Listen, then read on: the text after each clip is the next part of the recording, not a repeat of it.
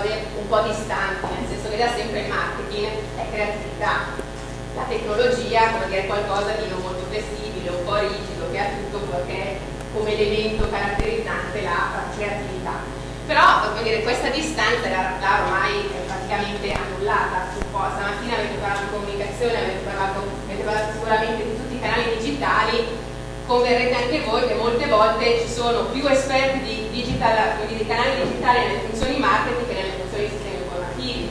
No, non è vero, assolutamente. Quindi questa distanza assolutamente si va in un certo senso ad, ad eliminare. Il canale digitale però è uno dei, ovviamente delle tecnologie, dei canali che si possono utilizzare, quindi la tecnologia può mettere uh, in campo per supportare il marketing. Quindi per dire, capire un attimo come le tecnologie possono veramente supportare il marketing, io ovviamente sono, come dire, questo caso come da boccone quindi in università, fatemi fare una, dire, un piccolo uh, inquadramento. Disturbiamo il papà del marketing, perché se non disturbiamo, non disturbiamo Kotler non... Quindi come partiamo? Quando dicevo ok c'è stata un'era del marketing 1.0 dove il centro cos'era? Era il prodotto. Fondamentalmente nel cliente interessava poco a nessuno e quindi il modello che veniva messo in campo era quello del mitico marketing mix delle 4 P. Abbiamo quindi un prodotto, dobbiamo definire un prezzo, dobbiamo avere un posto dove venderlo e dobbiamo fare una promozione. Dopodiché ha detto ma forse, come dire, il cliente qualcosa c'entra. E quindi abbiamo questa seconda, in un certo senso, era, il marketing 2.0, vedete 1.0, 2.0, poi ovviamente abbiamo al 3.0, anche qui quindi commissione, come dire, tecnologia e marketing, dove in realtà, come dire, si è capito che forse il cliente è importante. Non è che io devo piazzare quello che ho, ma forse prima devo capire che cosa vuole il mio cliente e quindi poi creare qualcosa, un prodotto che va a supportare, che va a soddisfare la sua esigenza. Quindi non iniziamo a parlare di prodotto, ma iniziamo a concentrarci su un customer value, cioè io devo creare qualcosa che ha un valore per il prodotto, per il cliente. Quindi vado anche al di là del prodotto fisico in se stesso. Ho un corredo di servizi e così via vado a parlare di customer cost, cioè qual è il costo? Non è solo il costo per il cliente, non è solo il prezzo di vendita, ma è anche il fatto che ne so, che per averlo deve andare in macchina da parte, deve perdere tempo, tutto questo, quindi ha il costo per il cliente. Customer convenience e qui entra in gioco un po' anche la multicanalità. Io devo fare in modo che quello, come dire, che io vendo sia raggiungibile, che sia disponibile nel modo e nel luogo più conveniente per il mio cliente. E poi iniziamo a parlare di comunicazione. Non più promozione, una, quindi come dire io mando un messaggio, ma iniziamo a comunicare, quindi una comunicazione bidirezionale. Io parlo con, con il mio cliente, il mio cliente risponde, interagiamo e quindi capiamo un attimino quali sono i fabbisogni, come soddisfarli e così via. Terza era quella del marketing 3.0, andiamo addirittura oltre. Diciamo, ma in realtà il nostro cliente ormai non vuole più solo soddisfare un bisogno primario, ma in realtà il nostro cliente adesso che cosa vuole? Vuole un po' in un certo senso riconoscersi nella nostra azienda, vuole condividere i valori, se lui è un ambientalista e noi siamo un'azienda che inquina, forse non ci comprerà i nostri, i nostri prodotti. E quindi andiamo oltre, vedete la human centric era, quindi con il modello delle 3I dove l'identità, l'immagine diventa fondamentale, quindi, quindi la frontiera tra virgolette del marketing non è solo ascoltare il mio cliente, capirlo e trovare il prodotto che soddisfa il, loro, il suo bisogno, ma anche creare questa, cioè cercare di creare un'immagine e quindi un'identità in cui il nostro cliente si riconosce. Kotler, nella versione italiana, si parla di marketing che va, che va quindi oltre il cliente ma va all'anima. Quindi questa, come dire, quasi fusione, questa, come dire, uh, sì, questa uh, relazione con l'azienda che va ben oltre il soddisfacimento di un uh, bisogno. Questo se è il percorso, e non è detto un percorso che le aziende stanno facendo, sicuramente il prodotto al cliente, ormai questo salto l'abbiamo fatto, però come dire dal cliente all'anima del cliente in realtà è un passaggio che eh, si sta facendo. Il primo passaggio sicuramente è quello dire, che è stato caratterizzato dall'information age, cioè il fatto che il nostro cliente è sicuramente più informato, è un cliente più consapevole. Dall'altra parte invece il secondo passaggio, come viene definito, che è, da che cosa è caratterizzato? Invece è caratterizzato da partecipazione e collaborazione. Quindi il nostro cliente non vuole più avere, tra virgolette, ruoli passivi, ma vuole avere un ruolo attivo proprio anche nella definizione dei, uh, dei prodotti, nella definizione, quindi magari nel collaborare a creare anche campagne di marketing come, uh, come vedremo. E quindi questo, mi arrivo alla tecnologia, questo, quindi questi passaggi, questo cambiamento del marketing, che è importante però per capire come supportare, le tecnologie sono tanti, la sfida poi sta nel sapere scegliere quelle che sono veramente utili e soprattutto saperle poi impiegare nel modo migliore, perché se no dire, il panorama di quello che si può fare con tecnologia è veramente infinito. Quindi questo passaggio cosa ha portato? Clienti, sempre, clienti sempre più consapevoli, informati, connesse, queste tecnologie sempre più pervasive e accessibili ovviamente appunto diciamo a questi clienti che sono sempre connessi, sempre collegati ovunque in qualsiasi momento e quindi che cosa? Fondamentalmente questa tecnologia, la tecnologia da un lato è stata assolutamente la causa di tutto questo cambiamento, ma dall'altro lato in realtà la tecnologia è se non la soluzione, però sicuramente è un fattore abilitante alla gestione di questo cambiamento. E quindi in questo senso bisogna cercare di utilizzare la tecnologia. Ma in questo quindi Uh, cosa vuol dire utilizzare la tecnologia a supporto del marketing, quindi per interagire, quindi per comunicare con i nostri clienti, come avete visto uh, stamattina in maniera molto approfondita. Le tecnologie cosa ci devono permettere di fare? Ci permettono, devono permettere di dialogare con i nostri clienti, interagire, agire, cioè in funzione delle si verifica qualcosa e devo poter agire in maniera immediata, non dopo n tempo. Devo imparare ad osservare, ad imparare a conoscere sempre in maniera più approfondita i nostri clienti. Dobbiamo iniziare a collaborare con loro, a co-creare, quindi proprio a costruire un processo di partecipazione con loro. L'altra cosa importante, forse a me piace sottolineare, è proprio quello di ascoltare. Nel senso che noi diciamo che le tecnologie, i canali digitali, tutti questi social e così via, abilitano tutta questa interazione che le aziende utilizzano tutti i canali digitali per comunicare, quindi scambiare, uh, quindi, quindi scambiarsi uh, con le, le loro clienti.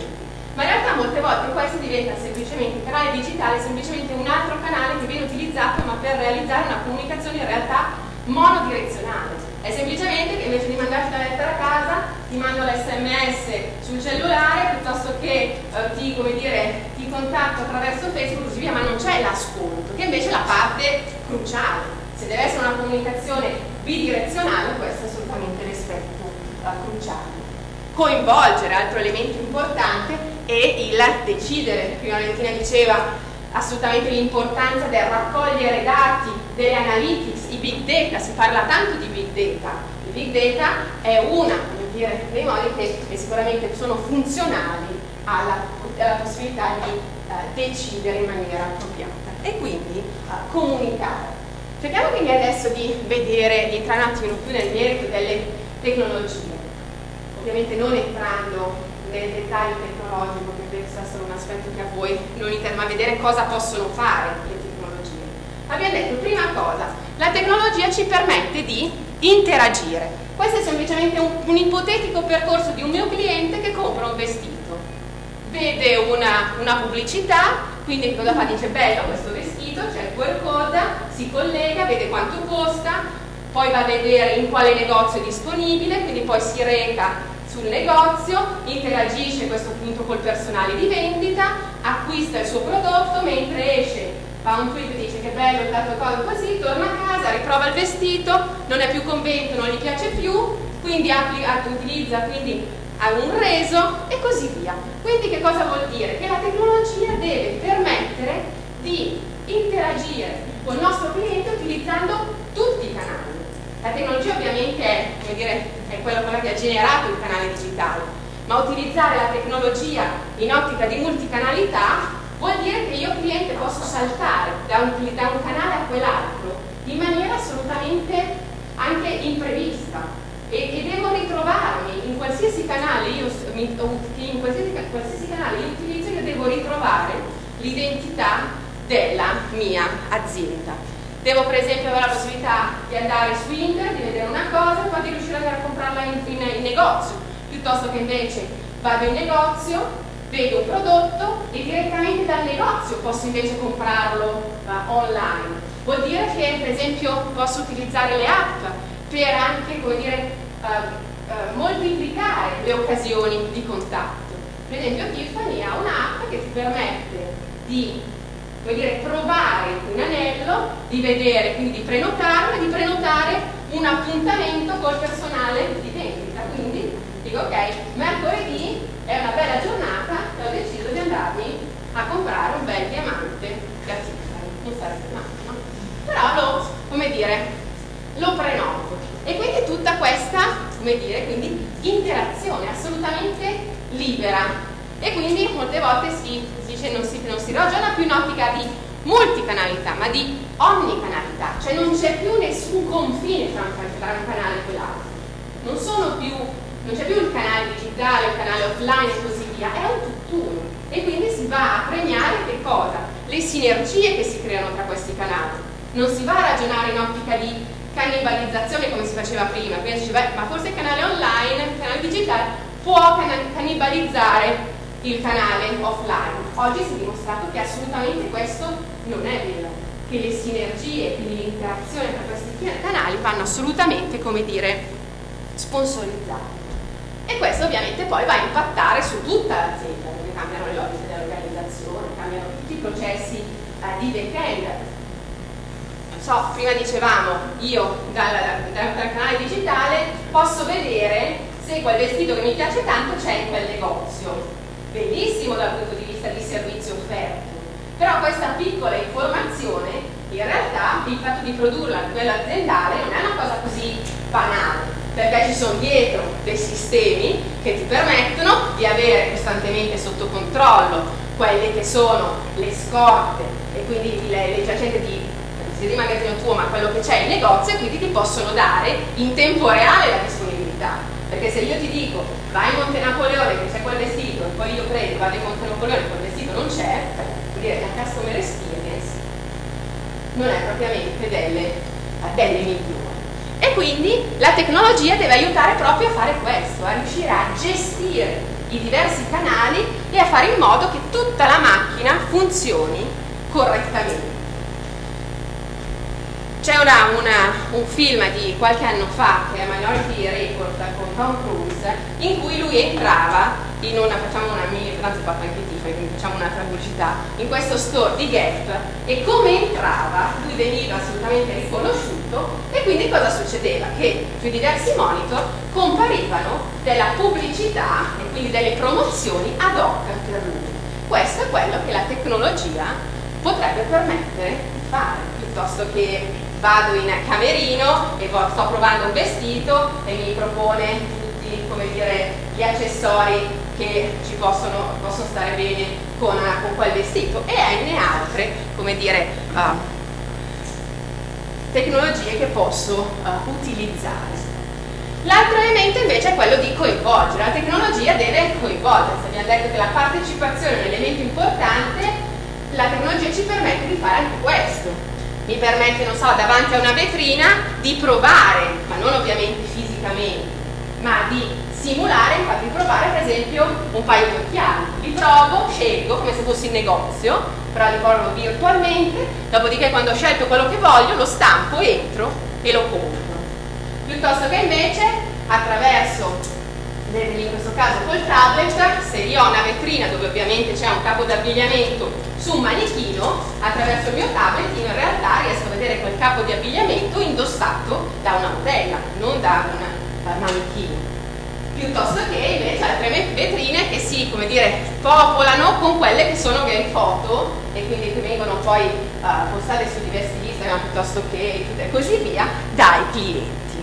E quindi una, una forma di coinvolgimento, quindi tutte le tecnologie che cercano di creare uh, partecipazione. Altro elemento, come abbiamo detto, è quello della collaborazione. Questo è il caso di Adidas, un caso molto bello e interessante che è stato presentato uh, proprio qui ad, ad, aprile in un convegno di, uh, di Este, è un caso in cui la tecnologia, in questo caso i giornalini, cosa hanno permesso di fare? Hanno permesso di costruire proprio una campagna di marketing con i clienti, in questo caso con quelli che erano tutti i fan del rugby. Quindi a cosa ha permesso di fare? Ha permesso proprio di definire con loro quelli che erano gli slogan che venivano utilizzati ha permesso poi di costruire addirittura una sorta di inno con tutte le voci raccolte, in quel caso attraverso Facebook, dai, uh, dai dai, dai fan, per poi arrivare a portare quindi quelli che erano diciamo gli slogan più uh, innovativi e migliori della campagna addirittura sulla maglietta quindi il cliente si vedeva, vedeva una parte della sua creatività che si andava a concretizzare proprio sulla su una capo di abbigliamento. Se parliamo di collaborazione non ci possiamo però dimenticare della parte di co-creazione. Quindi abbiamo detto, marketing deve capire quali sono i bisogni dei nostri clienti.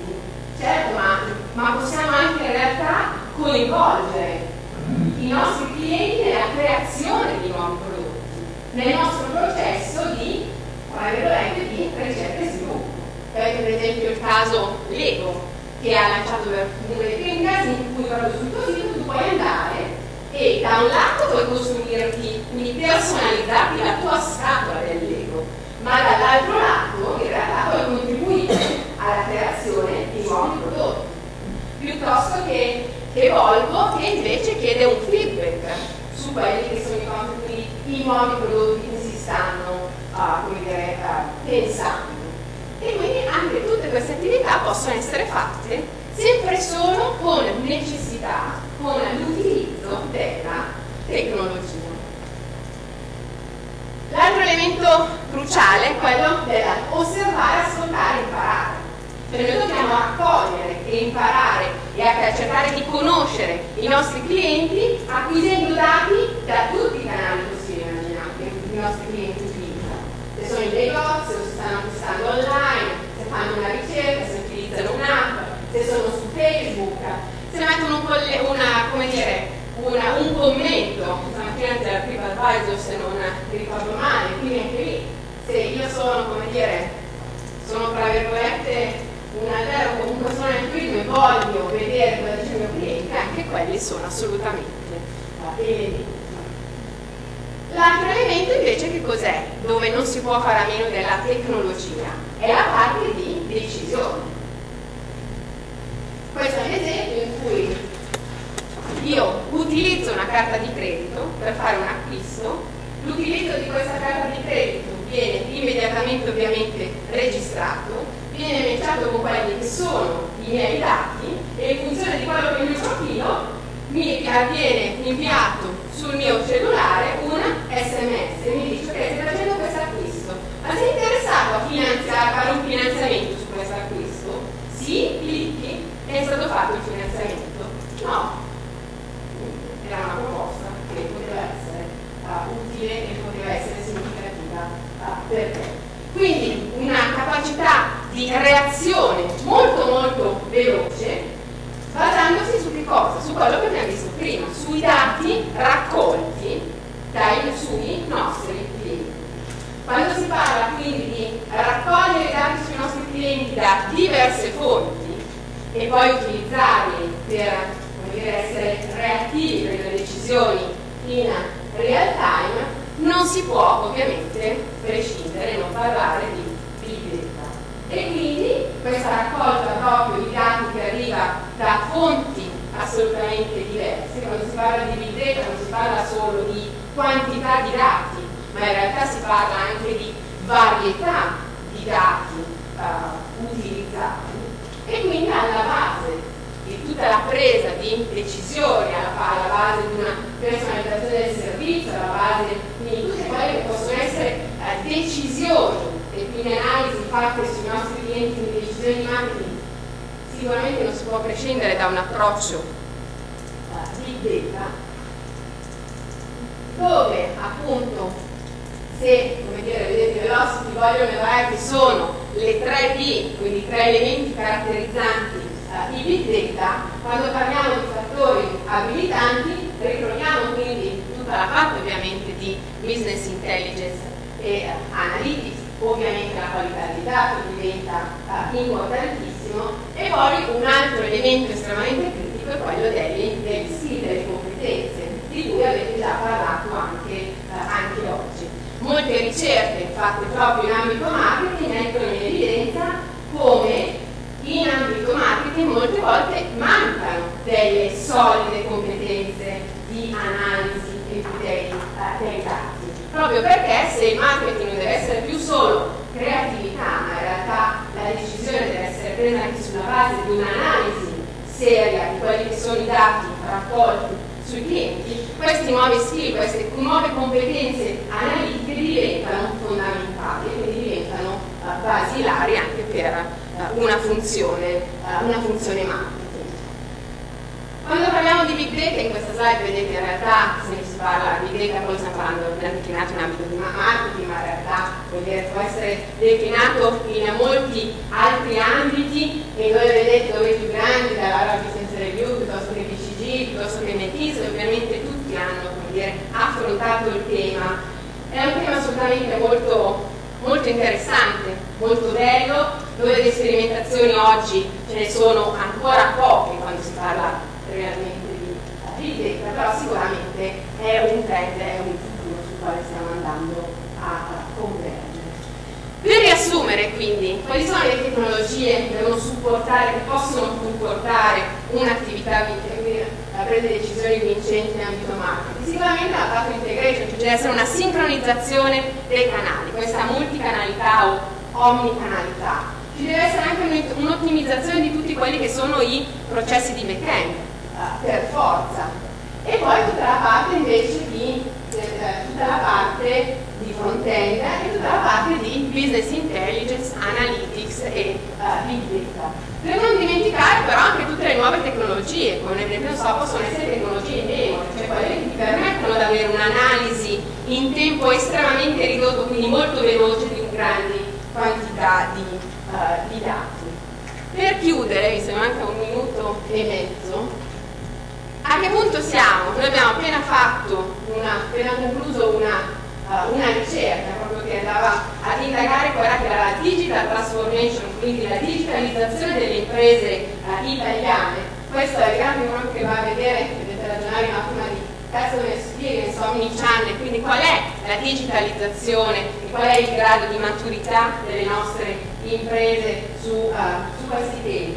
Come vediamo diciamo che una metà delle nostre imprese dice che sono messe bene su questi temi, ma c'è in realtà invece un'altra metà delle, di aziende che fa ancora molta fatica a lavorare e operare uh, in ottica di, omni, di multicanalità e uh, così. Quindi sicuramente molto lavoro c'è, ancora, ancora da fare anche perché nel nostro percorso che abbiamo visto dal marketing 1.1 al marketing uh, 1.0 al marketing 3.0 effettivamente le aziende che sono già arrivate al marketing 3.0 sono ancora poche, diciamo che siamo un po' nel mezzo tra il 2.0 e il uh, 3.0 io a questo punto mi, mi fermo perché il tempo è uh, esaurito, non so, ditemi voi domande. Grazie. C'è una domanda?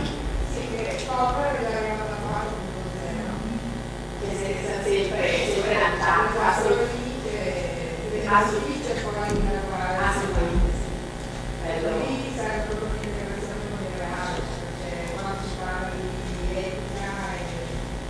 Assolutamente, bello. Ed è la grossa, la grossa sfida, la, diciamo, la grossa difficoltà delle imprese, proprio perché l'integrazione vera tra tutto quello che è digitale